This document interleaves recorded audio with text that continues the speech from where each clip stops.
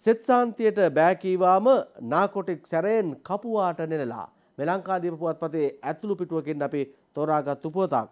අනුරාධපුර ගලින් බිඳුන ප්‍රදේශයේ විහාරස්ථානයක පවත්වාගෙන යන දේවාලයක කපු මහතෙකුට සහ ඔහුගේ බිරියට පහර දුන් බව කියන පොලිස් සැරෙන්වරයෙකු සහ ඔහුගේ මිතුරෙකු සැකපිට අත්අඩංගුවටගත් බව ගලින් බිඳුන පොලිසිය සඳහන් කරනවා. පොලිසියට එහෙම වෙලාවල් බලන්න ගිහිල්ලා ශාස්ත්‍ර අහන්න ගිහිල්ලත් මිනිසුන්ට ගහන්න පුළුවන්ද කියලා ප්‍රශ්නයක් තියෙනවා. කවන්නේ පොලිසියේ අයනේ ගහලා හරි කවන්නේ සෙත් සාන්තිය කරගන්නයි උත්සාහ කරලා තියෙන්නේ.